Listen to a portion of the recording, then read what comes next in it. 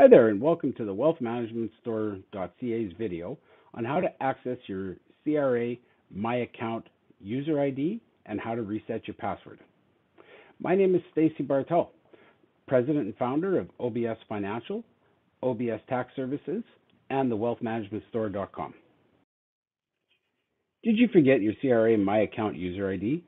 Or do you not know if you ever registered for one? Well, if you're unsure, here's how to find out. First, we need to go to the CRA login screen. So go to Google and Google CRA My Account. Click on the link to get you there. Once you get there, you'll have two options. Option A, which is for sign-in partners, but in this case, because we're looking to find our user IDs and logins, you're going to want to click on B, CRA Login. The next screen is a temporary screen set up for the Canadian Emergency Response Benefit, or the CERB. Uh, when you get there, you're just going to want to click on the CRA Login.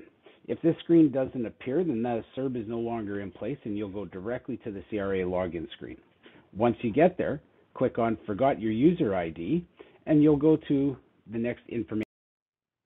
Here's where you're going to find out the information that you need in order to re-access your user ID. First thing you're going to need to know is your social insurance number. You're going to need to know your date of birth and the amount that you entered on line 150 or another line selected by the computer from your last year or your previously filed tax return. This information is available from the income tax package that you received from us at OBS Financial last year. If you do not have it, you can complete our online request for previous year's tax order form, and we'll send you a copy of your notice of assessment from CRA, which will have all the information. Please note, the cost for us to send this information to our clients is $40 per request. That covers the time that it takes for us to obtain it and send it off to you securely. However, during the COVID-19 crisis, we will be waiving this fee up until April 30th, 2020. Once you have your tax return ready, click Next.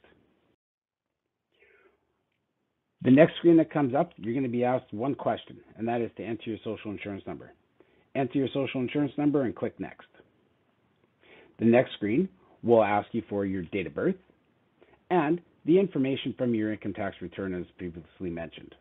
Once you have those two pieces of information entered in, click on the next button, and you'll end up getting a copy of your user IDs. In this case, the user ID for Wiley Coyote was the Coyote. However, Wiley's forgot his user ID a couple of times and set up multiple accounts. So in this case, he also can use Meep Meep or Dinner Time. Either one of the accounts will work. He just needs to log in and reset his password. Speaking of resetting your password, if you forgot your password or because you forgot your user ID, you're going to want to reset your password. In order to do that, go back into the login screen, and this time you're going to select forgot your password. Once you get there, you're going to select the user ID that you want to use, click next, and you'll, answer, you'll have to answer your security questions. Now, these are the questions that you would have originally set up when you originally registered for your account. Enter them and click next. However, if you forgot your answers, you will need to register and create a new account. Anyways, that explains everything you need to do to re-access your CRA user ID and your password. We hope this video has helped you and understand that you needed this information to apply for the C for the CERB.